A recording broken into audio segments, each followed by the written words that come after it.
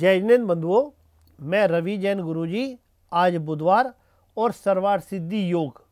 देखिए, हमें कोई भी नया कार्य आरंभ करना होता है तो सर्वार सिद्धि योग में आरंभ कर सकते हैं, उसके सफल होने की संभावना काफ़ी बढ़ जाती है। और अब बात करते हैं आज के राशिफल की। मेष राशि वाले रुके कार्य बन सकते हैं, समय ठीक है। क्या करें?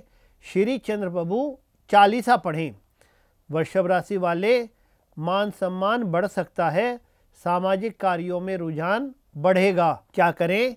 दस मिनट का मौन दिन में दो बार रखें। मिथुन राशि वाले, विरोधी पक्ष पर जल्द विश्वास ना करें, स्वास्थ्य का ध्यान रखें। क्या करें? लाल मिर्च का दान करें 100 ग्राम कम से कम। कर्क राशि वाले तीर्थ स्थल पर जाने का योग, लेकिन वाणी पर नियंत्रण रखें। क्या करें? दो मोरपंख कमरे में लगाएँ।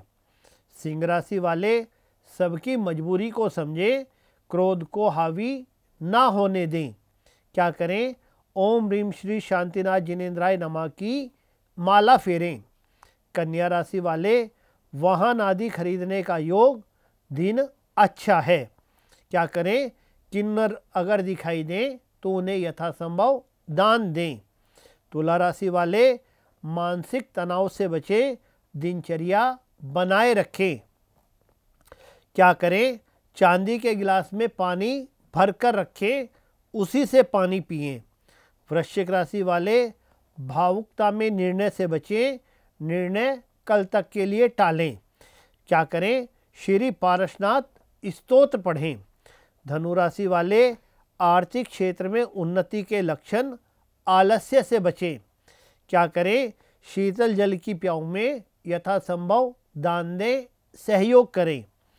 मकर राशि वाले सुखद समाचार मिल सकता है, तालमेल बनाकर चलें। क्या करें? नमो सिद्धानम की माला फेरें। कुंभ राशि वाले पति पत्नी आपस में तालमेल ठीक रखें। विवाद से बचें। क्या करें?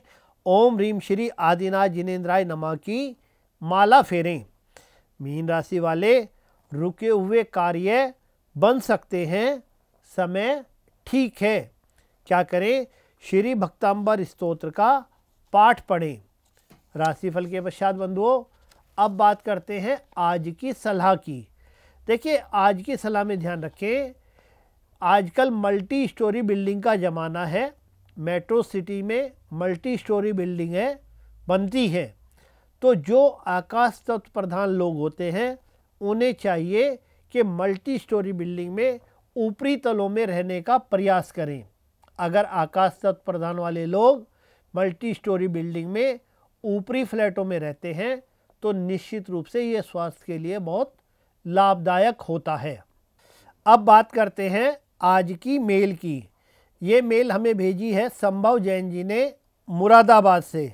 लिखते हैं, गुरुजी, क्या कोई ऐसी संस्था है जो आर्थिक रूप से कमज़ोर जैन समाज के बच्चों को पढ़ाई में सहयोग करती हो?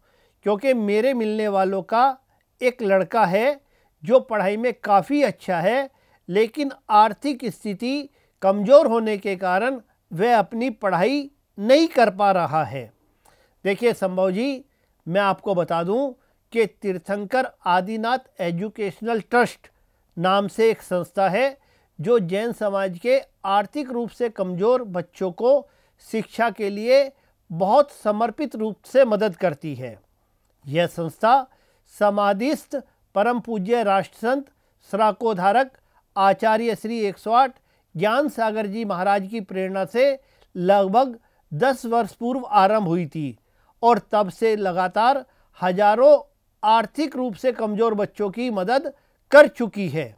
और आप इसको वेबसाइट के माध्यम से ऑनलाइन सर्च कर सकते हैं।